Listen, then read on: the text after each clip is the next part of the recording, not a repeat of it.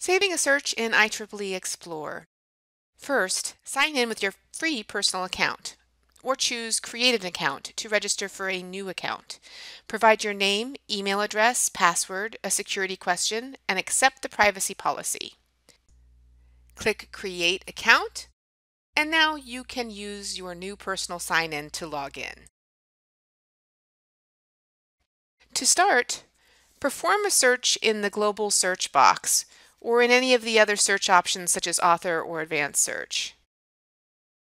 Let's start with cloud computing.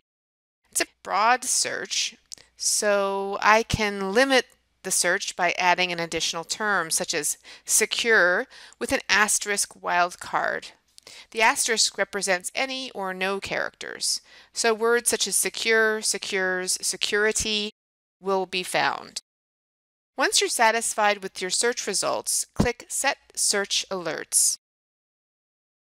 Name your search and click Save.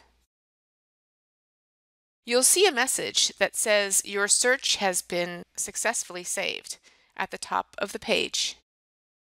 You will now start to receive email alerts once a week letting you know of any new content that matches your search criteria.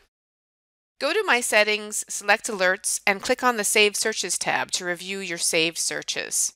You can save up to 15 searches. Click on the search title to run the search again.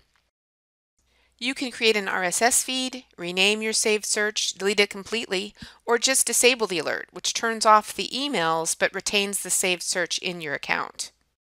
This has been Saving a Search in IEEE Xplore. Thank you for watching.